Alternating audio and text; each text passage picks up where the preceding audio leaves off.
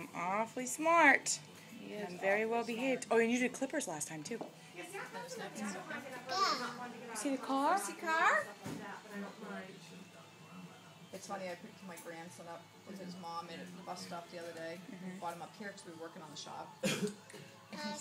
You know, li- little boys are great about picking their nose, you know, and stuff like that. He picks mine. So he was picking his nose, and I'm like, Jakey, that's gross. He goes, No, that's good. Bookers are good. And so of course he ate it. I'm like, Ew, Jake, that's gross. He's like, I says, You're gonna get a booger tree growing out of your stomach. He goes, Uh uh they don't have no seeds.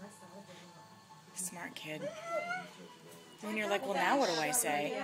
So I said, Well, they're magic boogers. Boogers are magic. They can grow without seeds. Oh, that's funny. Talis you're doing a good job. I'm like, That's just not right. He shouldn't even know that. That's funny. And I do, I, I do everything to. Ah, He's like, I'm hungry. I'm hungry. So we'll go get you a donut. He just picked his nose. Ew. Yep. It's like, no, I just ate boogers. Talis when you get older, mommy's going to do the gel thing that I used to do with my hair. Be gelling. Mm-hmm. Woohoo! Daddy and I like the baby mohawk thing. So we do it in the